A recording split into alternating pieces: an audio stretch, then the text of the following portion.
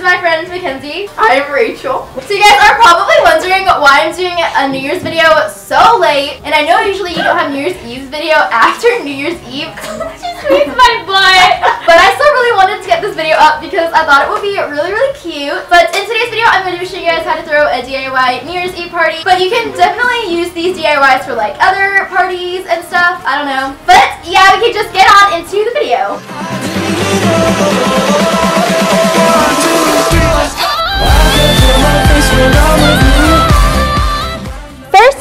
Have chocolate covered Oreo cheesecake balls. So I just took a couple of these birthday cake Oreos. You can use whatever Oreos you want and I just put them in a plastic baggie and smashed them up. Once I was done with that, I went ahead and put it in a bowl and added a couple tablespoons of cream cheese to it and mixed that all up.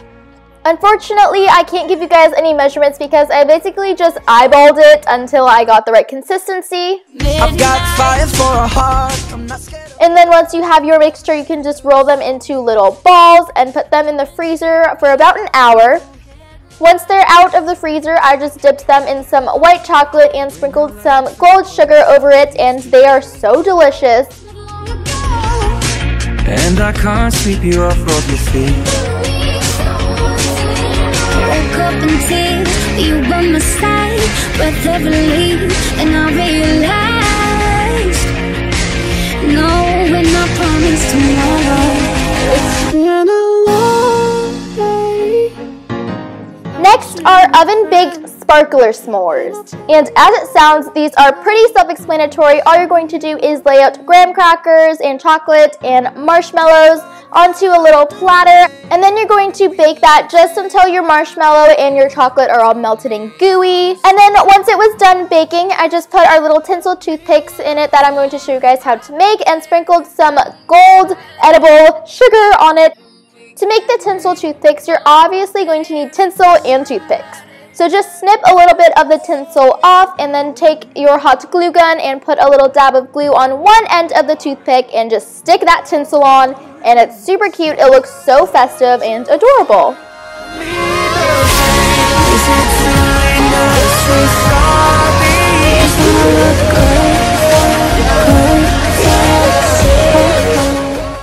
And now for the part you guys have probably been waiting for, the DIY photo booth.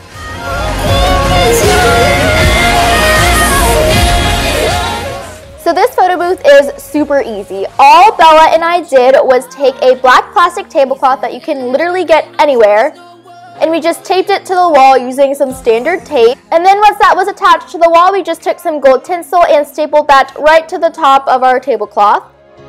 Trying to compromise, but I can't win. How it is for us, and it's all because how deep is your and then right above that, we hung our 2016 banner that I'm going to show you guys how to make right now.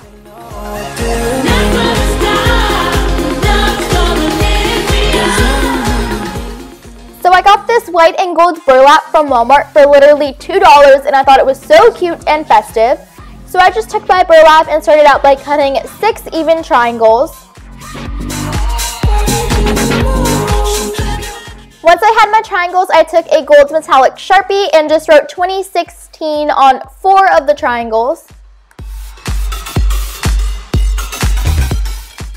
When I was done with that, I took some yellow and white baker's twine and then I basically just hot glued our little triangles to the string and boom, you got a super cute banner.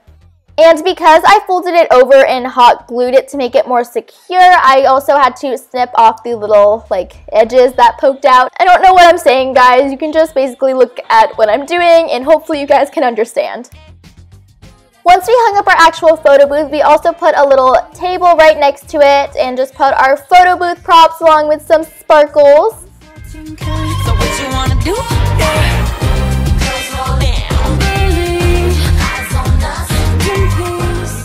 Making the photo booth props was super simple, so I just took a bunch of printouts of these New Year's like photo booth props and I'll leave a link to the ones I used down below. So I just put those on regular printer paper, cut them out, pasted them onto some cardstock, and then also cut those out.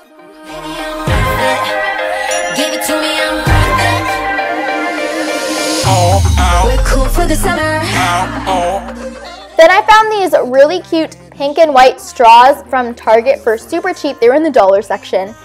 And I just took those and hot glued it right to the back of my photo booth props and bam, you have photo booth props. Super cute. So that is basically how you make a DIY photo booth. I think it came out super cute and my friends and I had a bunch of fun just taking pictures and everything.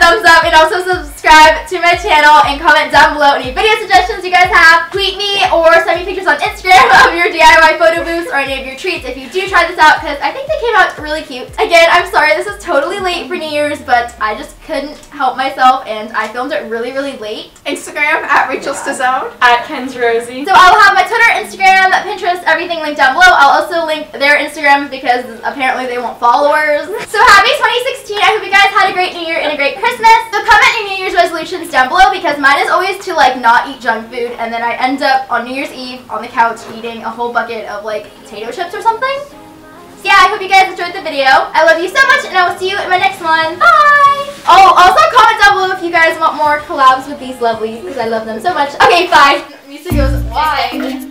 wait. Thank you, Gabby. Thank you. Okay, wait, I got the outro.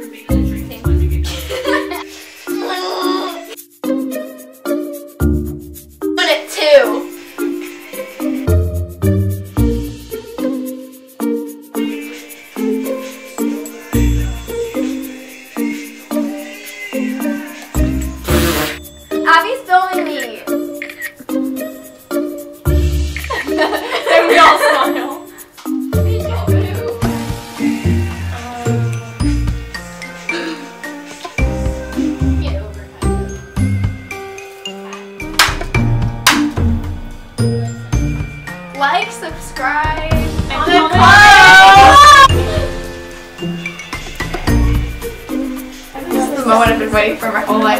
Alright, I hope you guys enjoyed this video. Subscribe to Gabby Patricia on YouTube. That was so much She's so concerned about my video.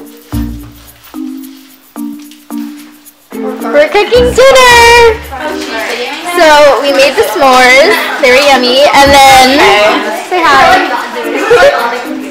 and then our chicken is cooking in the oven right now. I'm gonna take it all out at 7. Yeah.